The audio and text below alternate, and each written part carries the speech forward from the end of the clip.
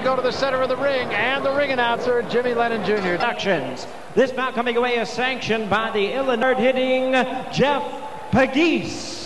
Of 26 wins, four losses, and one draw. Mercer. By what you see here. Yeah, you look at him, and we've been mentioning his weight, you know, at 229. I mean, this guy was amongst the elite heavyweight. Was uh, also stopped by Willie Williams in Mount Pleasant. Made a good finisher. If he got you hurt, you were oh. sure to be good. Oh, that was tainted.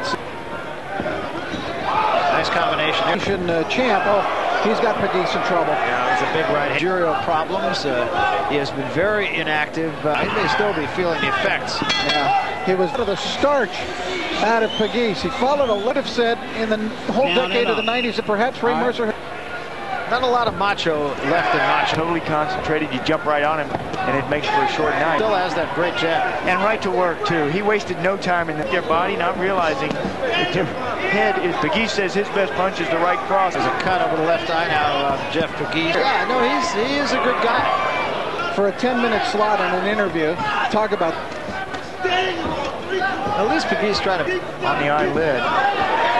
When it's going to be over.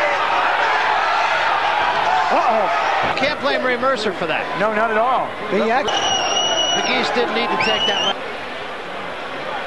And so if you are if you were cognizant of it, it really time for a young fighter.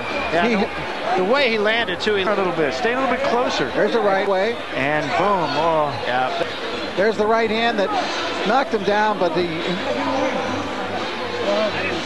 Tito Rodriguez, the referee, needed to step in. Uh, at least one punch hit Perret. Uh, tragedy. Let's go to Jimmy Lennon. Ray Mercer. Right, he's going down there. See how he's hooked up in the rope, but the referee.